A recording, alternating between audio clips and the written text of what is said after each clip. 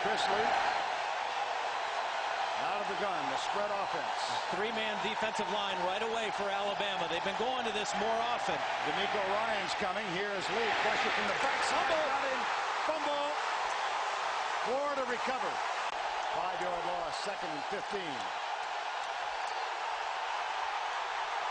This is where you like having an experienced quarterback like Chris Leak. He's played in all the tough stadiums. They the ground and get nothing. DeMeco Ryans is there along with Rudy Griffin.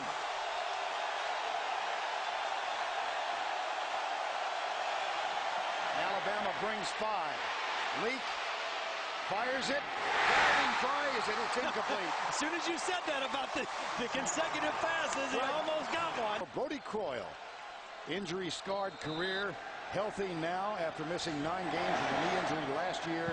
Off to a good start in 2005. Play fake, Croyle, the senior, wants to go deep for Prothro, who's down there. He's got it, and he is gone. No flags.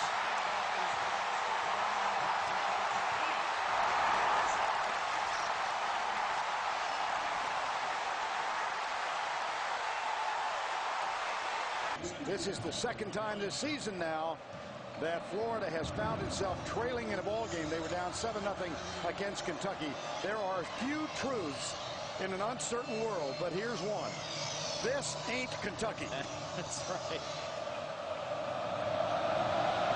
Christensen with the kick.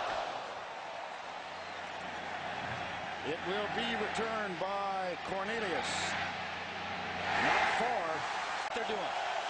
Close calls here. He's 0 for 3. But the uh, interception streak remains intact. This one batted as well, and it's intercepted. Chris Harris has got a blocker, and he is down to the one-yard line. Same personnel, third and goal. It's Castille as the deep back. Brody Croyle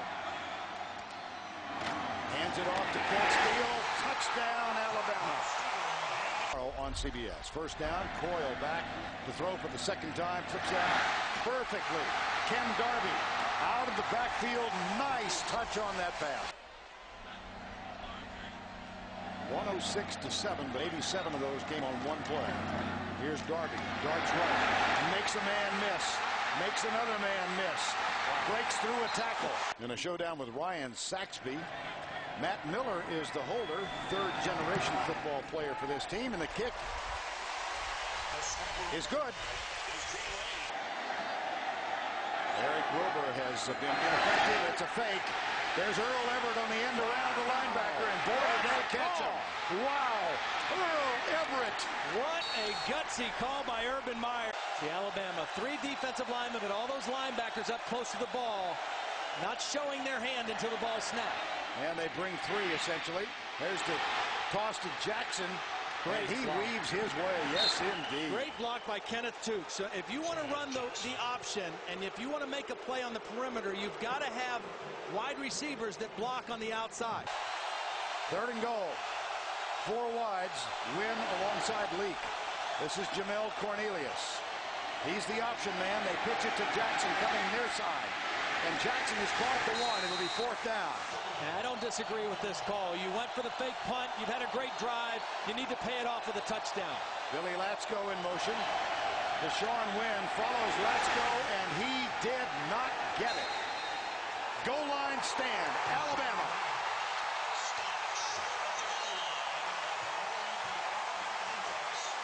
I kind of did. You can't kind of. You either did or you didn't. Play fake. Croyle.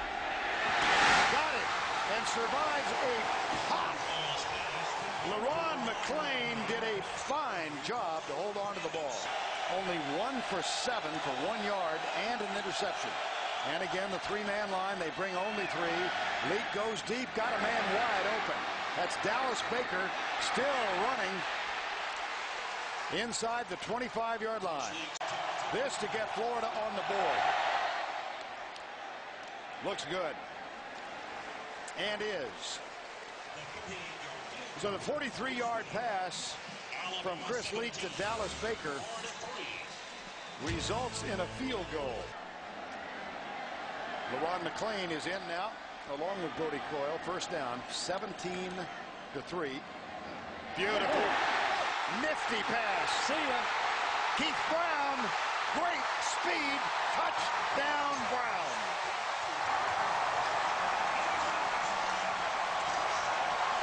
And Florida actually ran more plays than Alabama did that first half, but Alabama averaged 10 yards a play thanks to those big pass plays.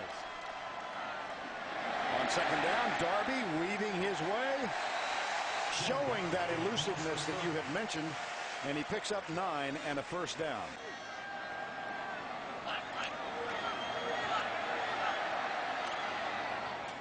Play fake. McClain has it. Avoids the first tackle, gets a block from DJ Hall, fights his way to midfield. Croyle 11 of 13 for 255. Draw play, Darby scoots by the first man, still on his feet, down at the 18-yard line. Nick Walker, the tight end, is tight to the right. Now that's McClain in motion. Good block by Darby. Croyle got a man. Croyle, touchdown, Alabama. And you mentioned the block by Darby. He picked up the outside blitz perfectly, and Brody Croyle was able to stay right in the pocket and make the throw. Wow, was that pretty. Nine starters back, and they are playing at an even higher level, I think, right now. Here's Leak. right side. And that catch is made. Dallas Baker still running free down the sidelines and is out of bounds at the 21, I believe. Wynn split way wide left.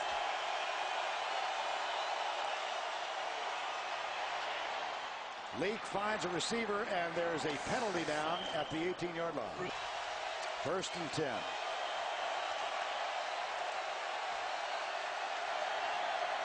Four-man rush by Alabama. Across the middle again. Jackson, number eight, nailed by number eight. Yeah.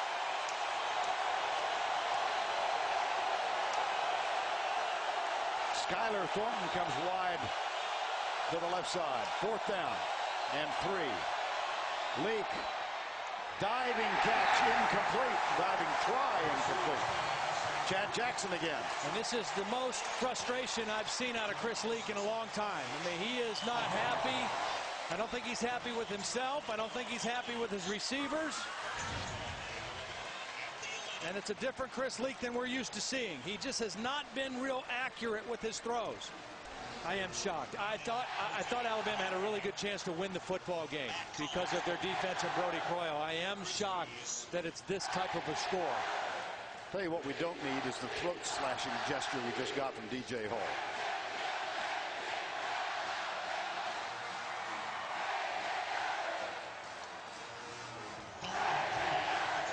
Florida still has a lot to play for. Make no mistake. I mean, they uh, still have a game with LSU, a game with Georgia at the end of the month, who's undefeated right now in the SEC.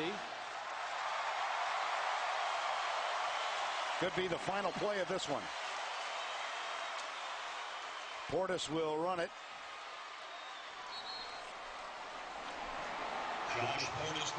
Out of bounds with three seconds to go. Mike Shula. Joe Kines.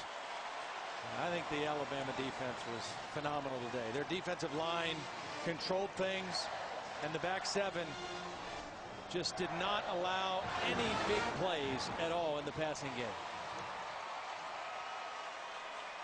This will be Urban Meyer's first loss as a coach in his last 21 games.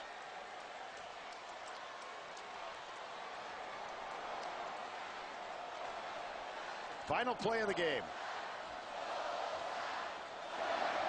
Portis with a pitch. Nyan Botan is tackled. Alabama wins it to go to 5 and 0 led by a brilliant effort from Brody Croyle.